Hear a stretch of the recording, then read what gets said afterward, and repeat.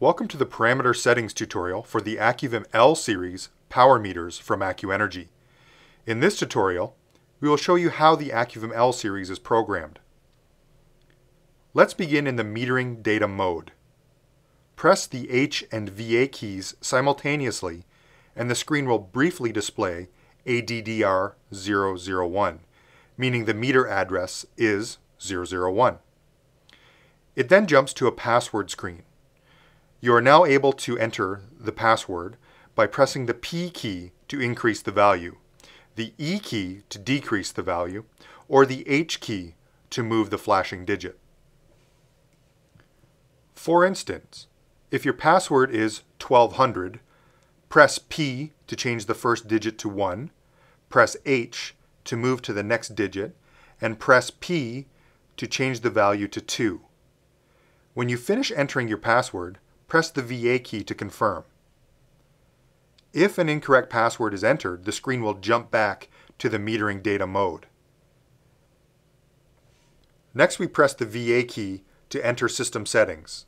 In these settings, you will find multiple screens for a variety of parameter settings.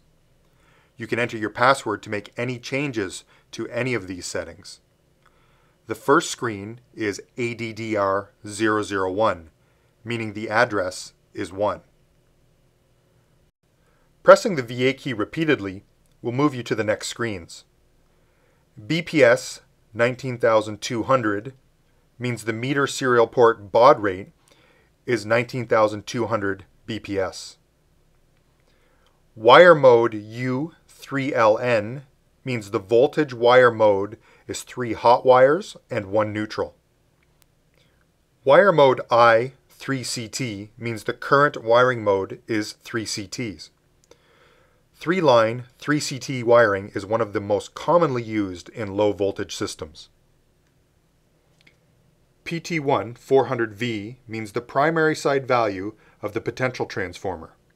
For example, if a 4200 to 120 volt transformer is used, PT1 should be 4200V.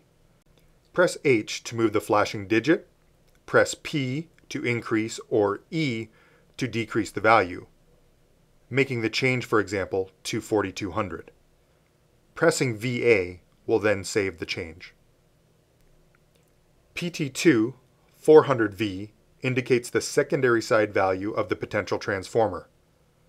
In this case, we need to change it to 120 volts, and the same PT setting process applies as PT1.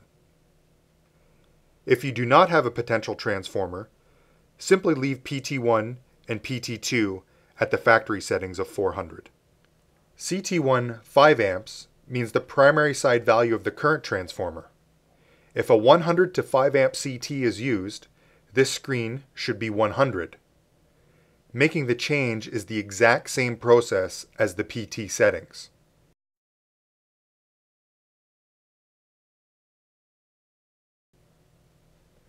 CT2 5 amps or 1 amps, depending on the meter model, means the secondary side value of the current transformer. It should be left as the factory 5 amps or 1 amp setting. If you want to clear the kilowatt hour reading, repeatedly press the VA key until you see E, del, 0. Then change it to 1, confirm, change no to yes, then confirm. The kilowatt hour reading will now be cleared.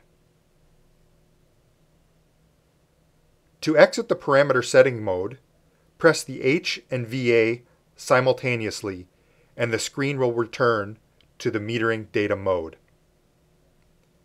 These are the basics for the parameter setting of the Acuvim L series power meters. For advanced settings, please refer to our user manual contained on our product disc with each meter. You may also download any of our manuals, software, and brochures from our website at www.accuenergy.com.